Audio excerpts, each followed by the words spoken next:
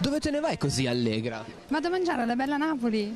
Ah, e certo, ristorante Pizzeria Bella Napoli ti offre la pizza più buona dell'oltrepo pavese. Qualità delle materie prime, ambiente accogliente, velocità ed attenzione al servizio la rendono la meta ideale per una pausa pranzo veloce o una gustosa serata con gli amici. E poi Pizzeria Bella Napoli ti mette l'allegria. Solo a Casteggio in via Vigorelli 1-3, vincitore del certificato di eccellenza TripAdvisor 2015. Lo scrive Corriere.it, gli ubriachi che dovranno essere portati in ospedale con un'autoambulanza dovranno versare un contributo di 200 euro anche se sarà verificato lo stato di urgenza.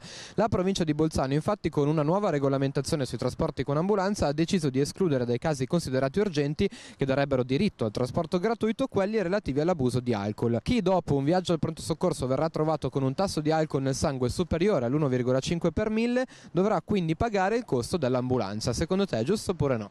Beh, sicuramente il fenomeno dell'intossicazione da alcol, soprattutto da parte dei giovani, l'abuso che questi ne fanno durante le serate della movida, ad esempio del sabato sera, è un problema per la società, nel senso che può provocare problemi alle ambulanze che di notte non, poi, non ci sono poi così tante unità in funzione.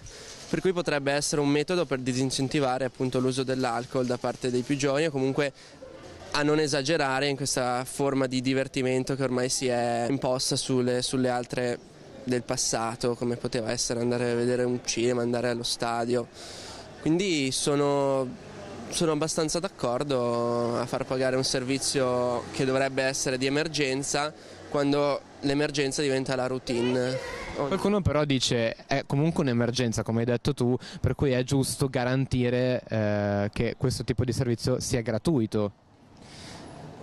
Sono punti di vista, sicuramente l'amministrazione che ha attivato questo, questa tariffa dovrebbe sensibilizzare i giovani comunque contro l'abuso dell'alcol, vi sono progetti anche nella città di Pavia, in tutta Italia, sono progetti contro l'abuso di queste sostanze. Secondo te servono, funzionano? Possono funzionare, ma probabilmente la, il maggior deterrente è essere protagonista di un episodio di intossicazione alcolica che sicuramente fungerà come miglior deterrente e l'informazione paritetica fra giovani, un giovane che ha avuto questi problemi, che ne parla ad un altro, può sicuramente aiutarlo a non esagerare nell'alcol. Perfetto. Io sarei contentissimo perché tanto si può bere benissimo senza arrivare a, a un coma etilico e star male dover chiamare un'ambulanza, quindi se fai il deficiente e bevi come, come un animale è giusto che ti paghi anche l'ambulanza secondo me.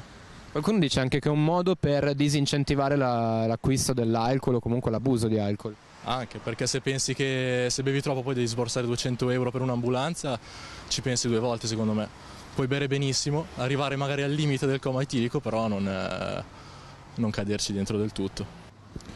Eh, è giusto far pagare i costi dell'ambulanza in alcuni casi e non garantirla sempre comunque gratuitamente.